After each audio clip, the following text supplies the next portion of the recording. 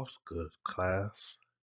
In this video, I will be reviewing expectation rules and how it gonna go down in my classroom. Here's all the rules that we will be operating in my classroom with for the remainder of the school year. Stay ready so you won't have to get ready. Simply as it says, stay ready so you don't have to get ready. Don't be ratchet. We don't need drama kings or queens. Don't interrupt destruction. Who are you to disrupt destruction? Take care of business before you enter my class, not after. Phones must be out of sight, out of mind. I have no time for dishonesty of any kind, and that goes for academics. Respect everyone, peers, and any adult in school.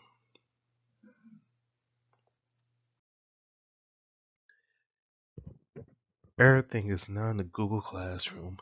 Videos for the lesson, assignments, quiz, study guide, homework slides. Now, be aware of this, there may be some assignments, a few of them, where they're not going to be in Google Slide. I will just hand them to you in person.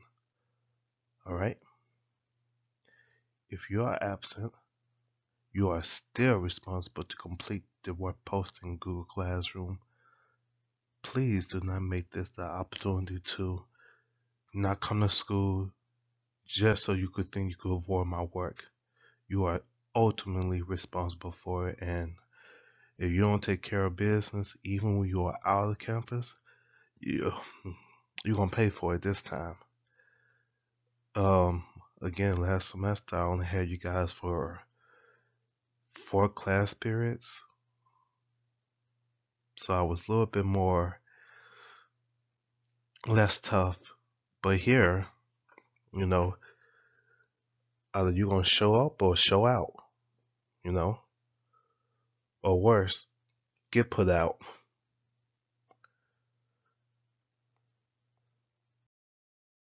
Consequences Point reduction. So, in the classroom, I'm not going to be really addressing you too much because you guys know what you are doing in class. So I'm not going to say, stop this because I don't want to hear, I'm not talking. I don't want to get into that discussion. Like, take care of business so I don't have to waste my time. So now, during this time, I'm not going to waste my time, period.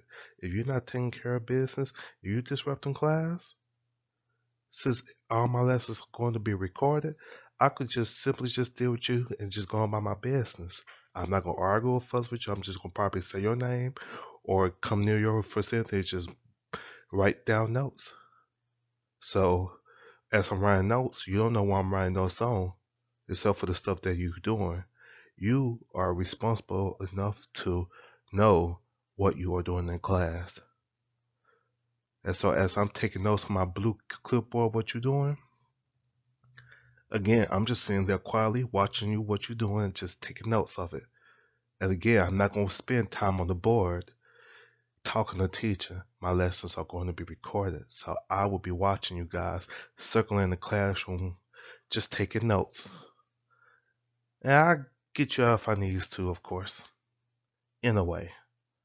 So of course, as you are being disrupted in my class, depending on the situation, I may take one point, I may take five points, I may take 10 points, I may take 20. Or you really push, I take all your points which is going to be a zero for participation in grade book. And then when you being belligerent and you doing too much, I would just simply remove you. And you guys know how I am. I have no interest in arguing with students. Teacher will calmly speak, afterwards assign discipline. That's how I'm operate. So yelling, raising your voice, anything like that, students please be aware that's not going to work. It didn't work in the few days I had you. It still won't work.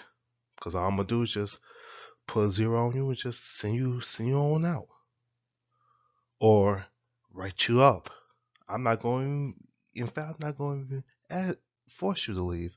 I'm gonna ask you, you say no, I'm just gonna ride a minute and keep it going. Now if you keep disrupting after that, then I will leave the class to go get someone to come deal with you.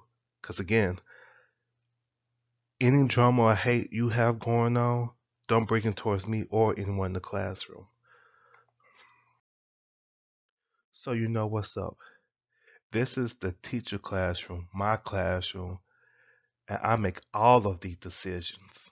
The only decision you gotta make is are you going to complete the assignments or you're not? Are you going to try to get this education or you're not? Those are the only two decisions you have. Any other decisions is not. The teacher does not owe you an explanation unless it only pertains to the lesson. So if you, for some reason, receive a failing grade,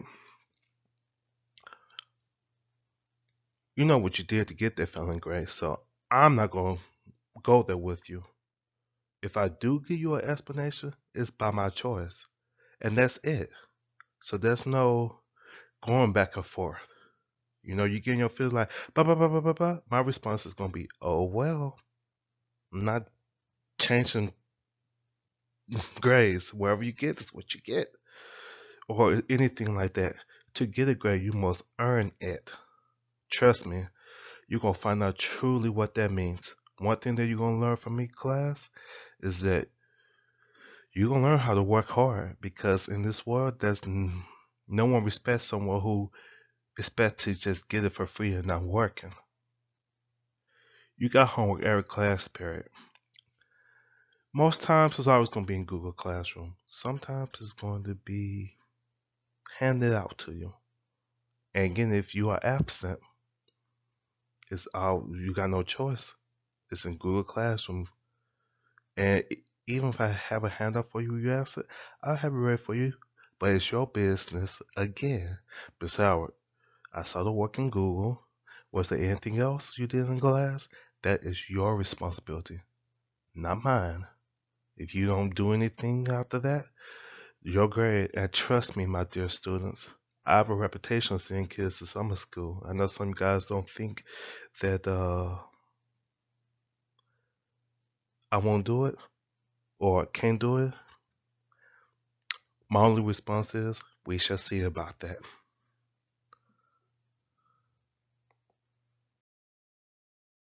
Tips to being great. And these are tips to help students out about being to be great. Because I noticed for the time that I've been at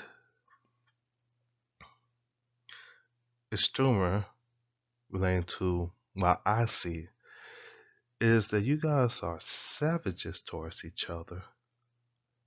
It's like if you like if you sad or mad about something, the first thing you're gonna do is find someone to hate on because you miserable. You know? You the miserable dude or the misery the misery girl. You're just so sad and so bitter and hateful to a point that you go come out after people who are happy just so they could so you could bring them down and make them feel any sort of way. So here's some quotes to help out on that. When people are hating on you, that means they are obsessed with you and mad they can do what you do or have access to the things you have. They talk about Jesus and they would still talk about him if he walked among us. That's what Jesus had to go through. So when my parents taught me that quote, nothing didn't phase me. I got called some horrific names in my day, but again, none of that stuff phased me because, you know, I have I had why I got what I wanted. I had the best life as a teenager, so I was never bothered by anyone comments or remarks. All right. Only a sad, miserable, pathetic, miserable person would say vicious things just to make someone feel just as miserable. Look, if you are angry and have whatever your issues is, keep it to yourself, basically. Because your opinion of people is none of their business. You know? It's just not. Who are you to go to some kid and say something hateful about their looks or their appearance or whatnot? Their looks or their appearance is nothing to do with you. What you assess with them? What you trying to be with that person? You got a crush on that person? What have you? You know? I mean, people, don't be hateful. If no one's not bringing hate or anything that towards your direction, don't worry about it. You know? I mean, just don't. Gay, straight, any of that orientation nonsense. Unless a person, you know, is bringing that kind of thing towards your direction, and you've seen the person actually involved with that kind of orientation, don't say anything about it. Because one or two things going to happen. A, you make enough false stuff and you get in trouble for that. You know, you putting false information on people and you get in trouble. You spread it around too. You can get in trouble for that. So again, unless you truly know, even if you do know, it's not your business towards you know to even go there with nobody. Last thing before we move on. Anything pertaining to adults, however they be or however they look is, what have you, anything of that sort of nature, it's not your affair to question or have interest in. Stay in the child place. You're not grown yet, so stay in your lane. All right, now we can move on. How am I grading you? This is the business right here. Participation. 50 points per class. You know, sometimes it's 100 points a week, sometimes it's 150 points per week. You really, really want that participation to look good. You really want to be involved into the lesson, not being off topic or anything that's not related to the lesson. You want to be in it from start to finish. You know, again, this is your education. I already got mine. So if you don't want to learn or don't want to do anything of the sorts, you should not be. And I will be speaking with um, administrators to kind of help with that situation in terms of moving you to a place where you could not get an education. Because I just don't have time. Classwork. 20 points per class. And sometimes you may have multiple class assignments in the lesson. In the video that I may have some problems that you may have to do or I may direct you to go to Google Classroom to go handle. You gotta get it done. Sometimes it will say group work. Sometimes it may say independently. Just get it done. Homework. Homework is 30 points per class. And please be aware that it's not going to be a simplistic four problems. That's not happening. Because we're in a new semester, things will be intense. This is the opportunity for you to really step up, show me what you got. Quiz, as the tickets. 100 points per assignment. So in terms of the quiz, hmm, you know, quiz are not as often as our ask the tickets. So the exit ticket probably, well, it will be counted as classwork too. You got me?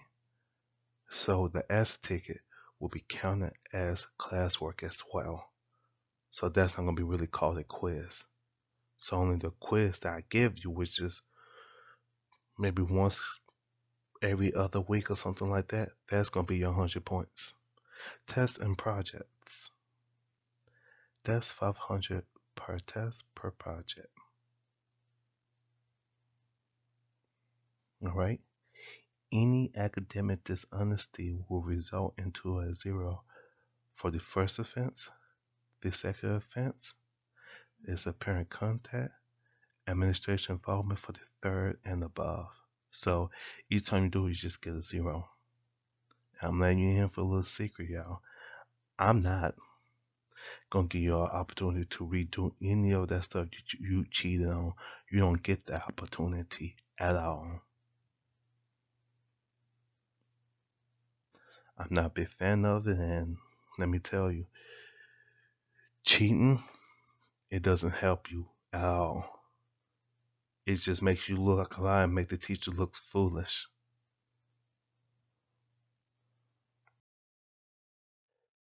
Academic dishonesty.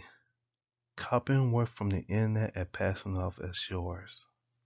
Copying work from others and passing it as yours. Lying about doing the work independently or as group work. Giving information to a student to pass off as their original homework or work, I mean. This includes sharing passing notes. These things are all considered academic dishonesty. So to sum it all up, what those four things are saying is pass on work that does not come from your thinking, your knowledge, is low down the lane. As I told you before, you will not get a makeup assignment on that. Stay ready so you want to get ready. Have all homework completed, ready to discuss. Come to class with supplies in hand. Return pencils from the teacher. Study before the test. Come to class ready to discuss and work all types of assignments. Get necessary gum or water to stay awake. And that's just pretty much just it. And that's how we're gonna roll. My um rubrics of how I'm grading all this, how that will be posted later in Google Classroom. So again, the lessons we do, they're gonna be mainly on the videos where I'm teaching you. I'm walking around to see what you're gonna do. All right, y'all. That's it.